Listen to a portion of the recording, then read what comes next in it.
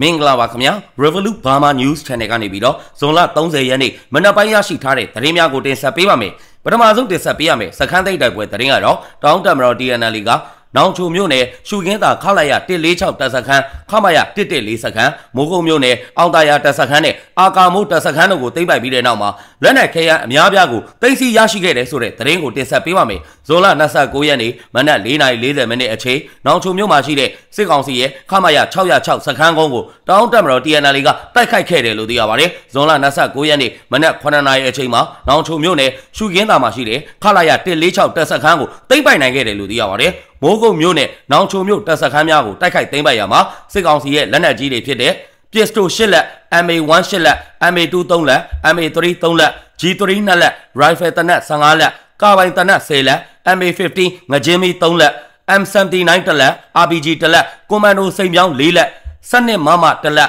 81မမ2လက်81မမနောက်ပွင့်တလက်60မမ2လက်ဂျမ်မာ2ခုဘုံများမိုင်းများနဲ့စကားပြောဆက်များကိုတင်စီရမိခဲ့တယ်လို့သိရပါတယ်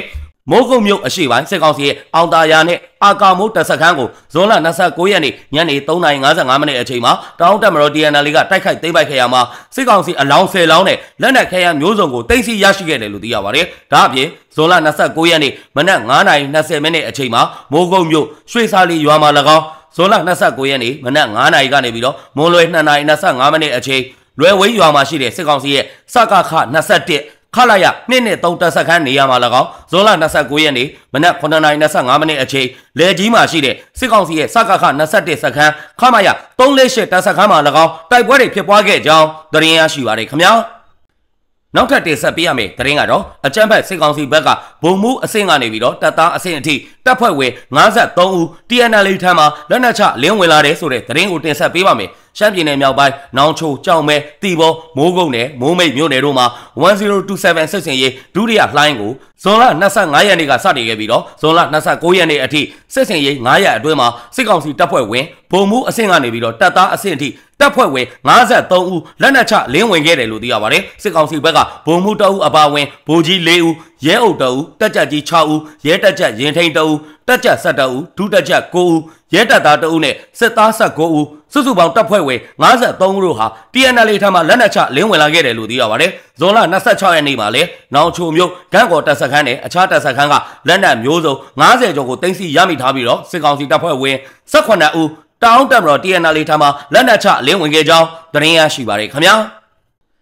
နောက်ထပ်တင်ဆက်ပေးရမယ့်မျိုးသိန်းတိုက်ပွဲသတင်းကတော့ချင်းပြည်နယ်မတူပီမြို့ကိုဇွန်လ29ရက်နေ့မှာအပိသက်သိမ်းပိုက်နိုင်ခဲ့ပြီလို့ချင်းညီနောင်တပ်ဖွဲ့ကကြေညာလိုက်ပြီဆိုတဲ့သတင်းကိုတင်ဆက်ပေးပါမယ်။ချင်းညီနောင်ရဲ့မြောက်ပိုင်းနဲ့တောင်ပိုင်းကုန်သွယ်ရေးမှာအချက်ချလမ်းစုံမြို့တစ်မြို့ဖြစ်ပြီးတော့ချင်းပြည်နယ်တောင်ပိုင်းမှာရှိတဲ့မတူပီမြို့ကိုသိမ်းပိုက်နိုင်ဖို့အတွက်ချင်းညီနောင်စစ်စင်ရေး Operation CV အဖြစ်နဲ့ချင်းညီနောင်တပ်ဖွဲ့တွေအာရခတပ်တော် AA ရော Army 1A စတဲ့မဟာမိတ်တွေနဲ့ပူးပေါင်းပြီးတော့ဇွန်လ9ရက်နေ့ကနေစတင်ကထိုးစစ်ဆင်တိုက်ခိုက်ခဲ့တာလို့ချင်းညီနောင်တပ်ဖွဲ့ဝင်တွေကထုတ်ပြန်ထားပါတယ်။မတူပီမြို့မှာစစ်ကောင်စီအုပ်စုရဲ့ခြေမြန်တရင်ခမရ304နဲ့စစ်ဗျူဟာအခြေချခမရ140တို့ရှိပြီးတော့ချင်းညီနောင်အနေနဲ့ခမရ304ကိုဇွန်လ18ရက်နေ့ကတိမ့်ပိုက်နိုင်ခဲ့ပြီးတော့ဇွန်လ29ရက်နေ့မှာစစ်ဗျူဟာအခြေချခမရ140ကိုအပိသက်တိမ့်ပိုက်နိုင်ခဲ့တာလို့ဆိုပါတယ်မတူပီမျိုးသိန်းတိုက်ပွဲကိုဖော်ဆောင်နေတဲ့အချိန်မှာချင်းတော်လိုင်းတပ်ဖွဲ့တပ်ဖွဲ့ဖြစ်တဲ့ချင်းအမျိုးသားတပ်ဦး CNF နဲ့အချင်းချင်းတိုက်ပွဲဖြစ်ပွားခဲ့တာကြောင့်မျိုးသိန်းတိုက်ပွဲကြန့်ကြာခဲ့ရတယ်လို့လည်းချင်းညီနောင်တပ်ဖွဲ့ရဲ့ထုတ်ပြန်ချက်မှာဖော်ပြထားပါတယ်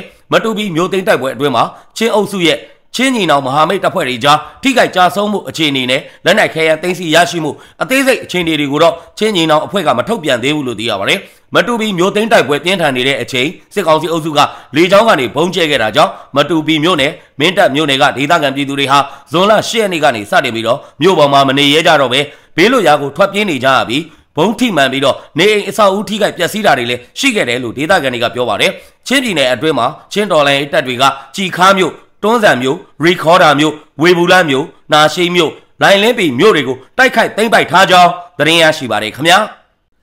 ဆက်လက်ပြီးတင်ဆက်ပေးရမယ့်သတင်းကတော့တနင်္သာရီတိုင်းတနင်္သာရီမြို့နယ်မှာရှိတဲ့အကြမ်းဖက်စစ်ကောင်စီရဲ့ point 3000စခန်းကိုဆယ်ရက်ကြာပိတ်ဆို့ထားပြီးတဲ့နောက်မှာစခန်းတွင်းမှာရှိတဲ့စစ်သားများအားလုံးဟာစခန်းကိုစွန့်ခွာထွက်ပြေးသွားတယ်ဆိုတဲ့သတင်းကိုတင်ဆက်ပေးပါမယ် ဇွန်လ16ရက်နေ့ကစပြီးတော့တနင်္သာရီမြို့နယ်မှာရှိတဲ့အကြမ်းဖက်စစ်ကောင်စီရဲ့ point 3000စခန်းကို KTLA ထီးဆဲမဲ့ရွာတရင်ကစတင်ဝင်းရံပိတ်ဆို့ထားခဲ့ခြင်းဖြစ်တယ်လို့သိရပါတယ်။ဇွန်လ28ရက်နေ့မှာ KTLA ထီးဆဲမဲ့ရွာတရင်က point 3000စခန်းကိုစစ်ကြောင်းထိုးပြီးတော့ဝင်ရောက်တဲ့အခါမှာအကြမ်းဖက်စစ်ကောင်စီတပ်သားတွေအားလုံးဟာစခန်းအတွင်းမှာမရှိတော့ဘဲနဲ့ထွက်ပြေးသွားကြတယ်လို့သိရပါတယ်။လက်ရှိအချိန်မှာတော်လိုင်းတပ်ဖွဲ့များကစခန်းအတွင်းထဲကိုဝင်ရောက်ပြီးတော့ရှင်းလင်းရေးတွေလှုပ်ဆောင်နေပြီးတော့စခန်းအတွင်းထဲကအကြမ်းဖက်စစ်ကောင်စီတပ်သားများနေထိုင်ခဲ့တဲ့အဆောက်အဦနဲ့အတုံးဆောင်ပစ္စည်းတချို့ကိုတင်စီရရှိခဲ့တယ်လို့သိရပါတယ်။အဲ့ဒီစခန်းကစစ်ခွေးတွေအကုန်လုံးမောတောင်ဘက်ကိုထွက်ပြေးသွားပြီးတော့နယ်မြေရှင်းလင်းရေးတွေဆက်လက်လှုပ်ဆောင်နေပါတယ်လို့ KTLA ထီးဆဲမဲ့ရွာတရင်ကတာဝန်ရှိသူတို့ကပြောဆိုထားပါတယ်။အဲ့ဒီအကြမ်းဖက်စစ်ကောင်စီရဲ့ point 3000စခန်းဟာခလာရ101ကအကြမ်းဖက်စစ်ကောင်စီတပ်သားတွေတပ်ဆွဲနေထိုင်ခဲ့တဲ့နေရာဖြစ်ကြောင်းသတင်းရရှိပါတယ်ခင်ဗျာ။ ဆက်လက်ပြီးတင်ဆက်ပေးရမယ်တိုက်ပွဲသတင်းကတော့မကွေးတိုင်းမင်းတုံးမြို့နယ်မဲဇလီကျေးရွာအနီးမှာအကြမ်းဖက်စစ်ကောင်စီတပ်သားတွေလိုက်ပါလာတဲ့ဖောကားဒဇီးကိုစောင့်ကြိုပစ်ခတ်တိုက်ခတ်ရာဗိုလ်တအူးအပါဝင်၃ဦးတေဆုံးခဲ့တယ်ဆိုတဲ့သတင်းကိုတင်ဆက်ပေးပါမယ်ဇွန်လ28ရက်နေ့မနက်၈နာရီခွဲအချိန်ခန့်က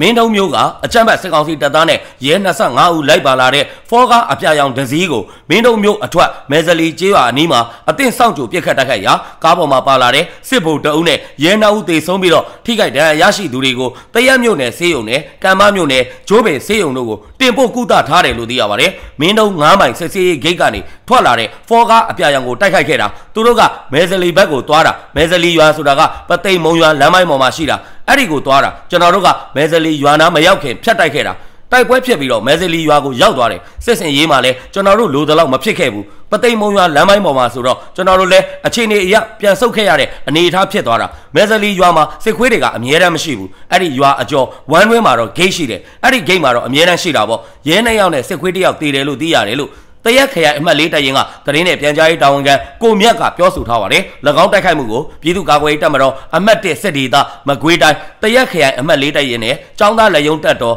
SAF ပူးပေါင်းစစ်ကြောင်းတို့ကတိုက်ခိုက်ခဲ့ခြင်းဖြစ်ပြီးတော့ပြည်သူ့ကာကွယ်ရေးတပ်ဖွဲ့ဝင်များအထိကိမရှိပြန်လည်ဆုတ်ခွာနိုင်ခဲ့တယ်လို့သိရပါတယ်ဒါအပြင် ပဲခူးတိုင်းညောင်လေးပင်မြို့နယ်အတွင်းမှာလှည့်လည်နေတဲ့အကြမ်းဖက်စစ်ကောင်စီစစ်ကြောင်းကို drone နဲ့ဘုံကျဲတိုက်ခိုက်ရာအရာရှိတအုပ်အပါဝင်၃ဦးသေဆုံးခဲ့ကြောင်းတောကြီးကန်စစ်ကြောင်းထံကနေပြီးတော့သိရပါတယ်။ဇော်လ28ရက်နေ့ညနေ3:15မိနစ်ခန့်မှာ KNU တပ်မဟာ3ပဲခူးတိုင်းညောင်လေးပင်မြို့နယ်အတွင်းမှာရှိတဲ့တော်လိုင်းတပ်ဖွဲ့ဝင်များစိုးမိုးထားတဲ့နယ်မြေအတွင်းကိုစစ်ကြောင်းထိုးလာတဲ့အကြမ်းဖက်စစ်ကောင်စီတွေတပ်ဆွဲထားရာကင်းစခန်းတစ်ခုကို drone နဲ့60မမဘုံသီးတွေကျဲချတိုက်ခိုက်ရာအရာရှိတအုပ်နဲ့အခြားအဆင့်2ဦးသေဆုံးပြီး 3ဦးထက်မနည်းထိခိုက်ဒဏ်ရာရရှိခဲ့တယ်လို့သိရပါတယ်။၎င်းတိုက်ခိုက်မှုကိုတော်ကြီးကန်ခုနှစ်ကောင်စစ်ကြောင်းရဲ့ drone တပ်ဖွဲ့ကတိုက်ခိုက်ခဲ့ခြင်းဖြစ်ပြီးအကြမ်းဖက်စစ်ကောင်စီတပ်ဖွဲ့ကလက်နက်ကြီးများနဲ့ပြန်လည်ပစ်ခတ်မှုများရှိခဲ့တော်လဲတော်လိုင်းတပ်ဖွဲ့ဝင်များအထိခိုက်မရှိအောင်မြင်စွာပြန်လည်ဆုတ်ခွာနိုင်ခဲ့ကြောင်းသတင်းရရှိပါတယ်ခင်ဗျာ။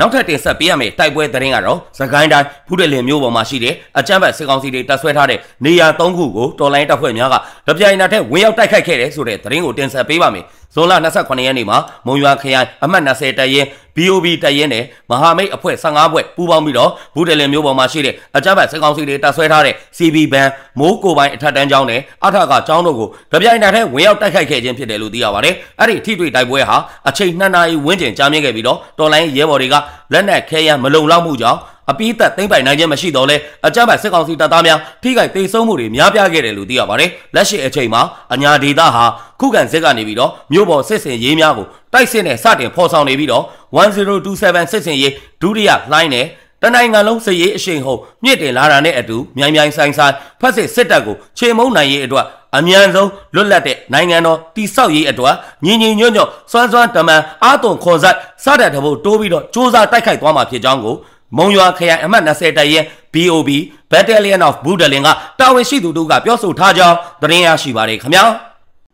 ဆက်လက်ပြီးတင်ဆက်ပေးရမယ်တိုက်ပွဲသတင်းကတော့မန္တလေးတိုင်းမိုးကုတ်မြို့မှာတိုက်ပွဲများဆက်လက်ပြင်းထန်နေပြီးတော့စစ်ကောင်စီကဘာသာရေးအဆောက်အဦများနဲ့လူနေအိမ်များကိုလေကြောင်းကနေပြီးတော့ပြစ်မှတ်ထားဘုံကျဲဖျက်ဆီးနေတယ်ဆိုတဲ့သတင်းကိုတင်ဆက်ပေးပါမယ် ဇွန်လ29ရက်နေ့မှာမိုးကုတ်မြို့အရှိပိုင်းမှာတိုက်ပွဲများဆက်လက်ပြင်းထန်နေပြီးတော့အကြမ်းဖက်စစ်ကောင်စီကဘာသာရေးအဆောက်အဦများနဲ့လူနေအိမ်များကိုလေကြောင်းကနေပြီးတော့ပြစ်မှတ်ထားပြီးတော့ဘုံကျဲဖျက်ဆီးနေတယ်လို့သိရပါတယ်။အကြမ်းဖက်စစ်ကောင်စီကမိုးကုတ်မြို့အရှိပိုင်းမှာရှိတဲ့ဖျားငါးစုကျောင်းနဲ့ကန်တော်ရက်ကွက်ကိုပြစ်မှတ်ထားပြီးတော့ဘုံကျဲတိုက်ခိုက်နေခြင်းဖြစ်တယ်လို့သိရပါတယ်။မိုးကုတ်ကအခြေအနေဆိုးနေပြီးလက်နက်ကြီးတွေလေရင်နေနဲ့ပါချနေကြပြီးမိုးကုတ်အရှိပိုင်းမှာတိုက်ပွဲကပြင်းထန်နေတယ် drone နဲ့လေရင်နဲ့ဇက်တိုက်ကိုပြစ်နေတာအရှိပိုင်းဖျားငါးစုကျောင်းပေါ်နဲ့ ကန်တော်ရက်ကွက်ပေါ်ကိုကျဲချနေတာလို့ဒေသခံပြည်သူတို့ကပြောဆိုထားကြောင်းသတင်းရရှိပါတယ်ခင်ဗျာအခုလိုမျိုးမြန်မာတနိုင်ငံလုံးမှာဖြစ်ပွားနေတဲ့စီရေးသတင်းနိုင်ငံရေးသတင်းများကိုအချိန်ပေးပြီးတော့နားဆင်ပေးတဲ့အတွက် Revolut Burma News Channel ကနေပြီးတော့အထူးပဲကျေးဇူးတင်ရှိပါတယ်ခင်ဗျာ